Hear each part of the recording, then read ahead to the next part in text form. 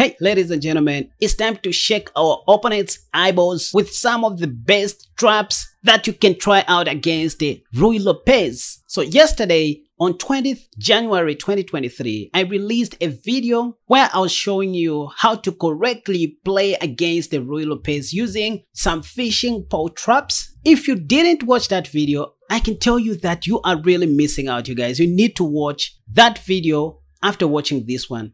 Anyways, the link is in the description down below or in the card above. Alright, now let's look at some more deadly traps that we can try out against the Spanish players. Alright, let's go. So white begins with pawn to e4, then you go e5, knight f3, knight c6. By the way, the trap that I'm about to show you guys is one that will give you much confidence to face the Ruy Lopez. You will never be scared of the Ruy Lopez again once you master this trap you guys. So they play bishop b5 and then you go a6, the main move. Knight to f6 before a6 is also playable. It's called the Berlin defense, my favorite. Right? But anyways, pawn to a6 is the main line, okay? And I guess by this time we already know what to do. After bishop takes c6, which is rarely played, the move that you're going to see once again is bishop a4 in this position.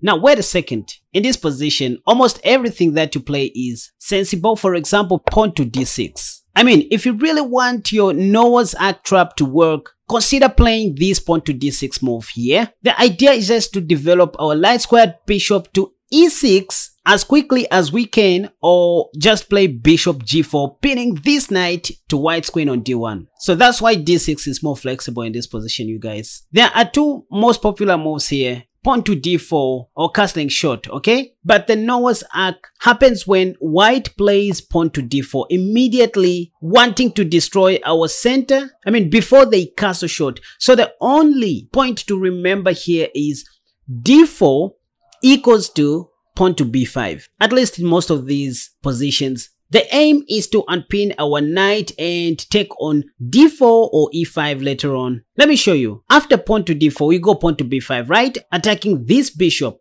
So they have to play bishop b3 and that's when we take with our knight on d4. They obviously have to take back with their knight and then we take back on d4. Now wait a second. Our idea here is just to play pawn to c5 and maintain our solid pawn structure on the center. But the top played move in this position is actually takes d4 which is a blunder in case you didn't know. This is only the eighth move of the game and white has already lost. Because of this move pawn to c5 the idea is just to trap this light squared bishop right here but if white thinks he can counterattack with the move. Queen d5 attacking our undefended rook on a8. Well, we have bishop e6 attacking the queen first. And after they play queen c6 check, that's when we go bishop d7 once again attacking the queen. And this time it doesn't even matter where white puts his queen cause the next move will be to win the light squared bishop the best I can do is to take the pawn and then take the other pawn. Then we play bishop e7 and our plans are very simple. Knight to f6 castle short. We also have other moves like queen a5 check and bishop b5 attacking the queen. Later on in the future we have rook c8 also. So from here we are going to have a great game. That's what we call the Noah's Ark trap, which is enough to inspire you to start playing this defense against the Ruy Lopez.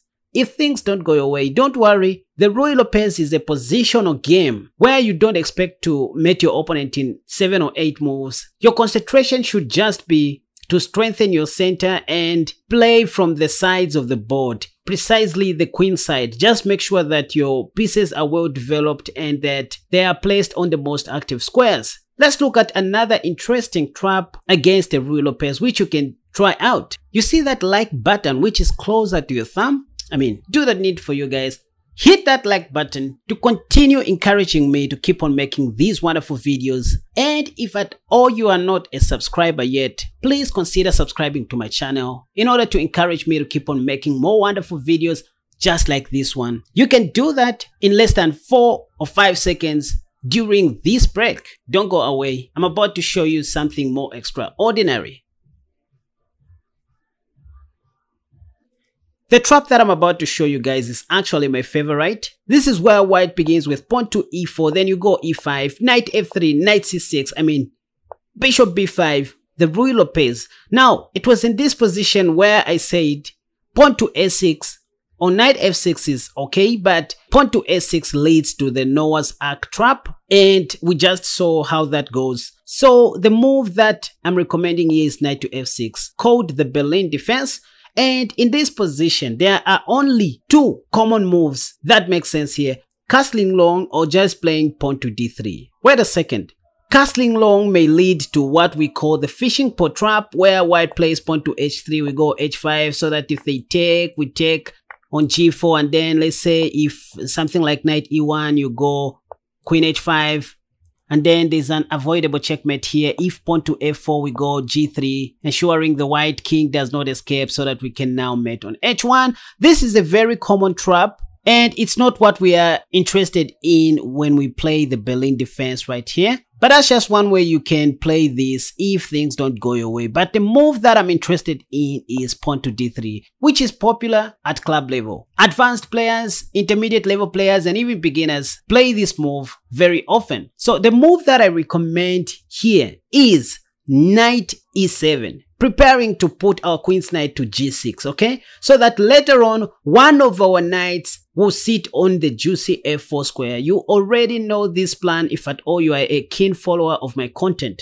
The dark squared bishop will be developed to c5 will castle short etc so knight e7 and here the best that white can do is to castle short. Otherwise if they think that this pawn on e5 is a free pawn, well, it is time for you to ask them in a polite way to pack their bag and go home. Otherwise, if they don't, we can simply shake their eyeballs by playing pawn to c6 and this will definitely win a free piece. Trust me, you guys. The common move here is bishop a4, after which we play Kaspa's signature move, queen a5 check, which happens to be a triple fork, by the way. The king is under attack, the bishop is under attack, and the knight is under attack. The best that white does here is to play c3, indirectly defending his bishop on a4. That's when we take the free knight on e5. Now, wait a second. You might think this is very good for you, but you still need to be very careful. White has got moves such as pawn to f4. The easiest here is to go for an immediate queen trade. Okay? You keep it so simple. Kiss. See, due to white's solid center here, with the help of the white queen, white may equalize the game if you are not careful. And I've lost a number of games even while having a piece up in this same position because of just this massive pawn structure on the center. So just simplify the game very much here. Go queen h5 to trade off queens. Once the queens are out on the board, at least you are assured of entering the end game with a piece up, okay? The next move that you'll be thinking about is pawn to d5. Let me just show you. Now, if white plays queen d2, they don't want to exchange queens because they understand that they don't have to oversimplify the game this is when you can now go pawn to d5. If they take, that will be good for you. You take back with your e knight, okay? Your knight which is on e7 and pave way for your dark squared bishop. But this pawn to d5 is a very good move in that it hits on the center, that's one. In order to create some light square weaknesses, let me show you. If white plays pawn to d5 here, which they are going to do, now there are so many light square weaknesses in this position. And now you simply play knight g4 since your knight was under attack. If pawn to h3, that would be a wasted move because we have queen h4 check on the king. If they play bishop d1 pinning your knight to the queen, well you have knight f5 first. By the way, queen h4 is also playable but because of pawn to g3 just go knight f5 here. This is a tricky way of playing against the Ruy Lopez. Look, we simply want to put our knight on g3 so that if h takes g3, we take the free rook on h1. We also have another idea of putting our knight on e3. So white has to be extra careful. For example, if they play pawn to d4 here, for whatever reasons, we can simply go knight g3 attacking this rook. And if you think this is easy to solve, watch. Bishop takes g4 may be played. Well, we just simply take back with our bishop and after rook g1, we simply take the free pawn on h2 and we are winning. Next, we'll play bishop e7 and bring this bishop into the game. So this is just the right way of continuing to play this so-called Mortimer trap after you win a free knight. Don't start overcomplicating things. Just keep in mind that white can bounce back with this huge pawn formation on the center, so be careful. Now, it was in this position where we saw white playing pawn to d4 for whatever reasons. They can also play something like pawn to g3 here. After this, well, I recommend you just unpin your knight. And if they play bishop f3, maybe trying to sit on g1, look at this move, you guys. Knight h4. The idea is that if they take your knight, you simply take their bishop. And this also stops bishop g2 okay so if they take your other knight on g4 instead you take back with your bishop and if they take your knight on h4 now you go bishop e7 you now see that this bishop can come into the game threatening to checkmate white or maybe trying to win their queen. Let's say if they play rook g1 you go bishop takes h4 check. The only sensible move is rook g3 after which you take that rook. And after pawn takes you go queen h1 King f2 only sensible move. You go queen h2 check. If king e1 is played, there's a mate with queen g1. So they have to play king e3 after which you go queen g1 check anyways.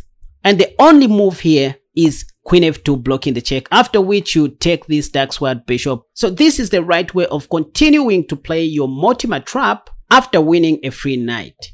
But not so fast. Don't skip this video. Let me show you what you shouldn't do in the Mortimer trap. So white played knight f3 and you just played knight c6 then they play bishop b5.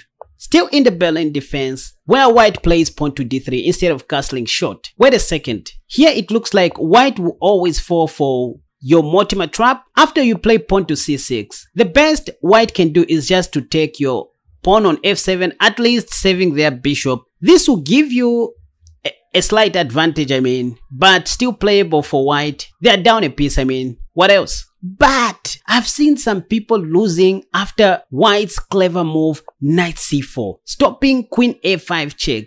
You guys, be aware of this move. c takes b5 is a very big blunder as it hangs mate in one after knight d6 checkmate. So you need to be very careful. Whenever you see knight c4, instead of bishop a4, Knight c4, don't take the bishop, no. Just go knight g6. So that if knight d6 comes, this won't be checkmate, it will be met with bishop takes d6. So they'll have to play something like pawn to e5 maybe, or bishop a4. If they play bishop a4, that's when you now go pawn to b5, double attacking their minor pieces, and you'll be sure to win one piece here for free, okay? Again, you start looking for ways to trade your queens and oversimplify your game. For example, they can go e5, you go knight d5. There's just nothing that white can do here. But let's just say after you play knight g6 instead of taking on b5, if they don't play bishop a4 and instead play an immediate pawn to e5 attacking your knight, you always have knight d5. Okay, again if they go bishop a4, you can go pawn to b5 double attacking their minor pieces. So let's say they play queen f3, another tactical move so that I mean if you take they then take your knight this doesn't work because you end up winning two minor pieces and they'll only get your knight, okay? So don't worry about that. Even if they start with knight d6 check first before taking your knight, well, you just take back. I mean, if they take your knight, you just simply take their pawn on e5 with your bishop and you are good to go. You are up a piece. So be very much alert with this move, knight to c4. Be very careful as you may end up hanging mate in one which is not good and your eyeballs will be shaken Alright you guys, so this is just about the most important stuffs that you needed to know in the Ruy Lopez or against the Ruy Lopez. And I'm sure these traps that I just showed you will give you much confidence to face the Ruy Lopez. That's the idea. By wanting to try out these traps, you will be learning how to respond against the Ruy Lopez correctly. With these few words, thank you for watching my video and hope to see you in my next video.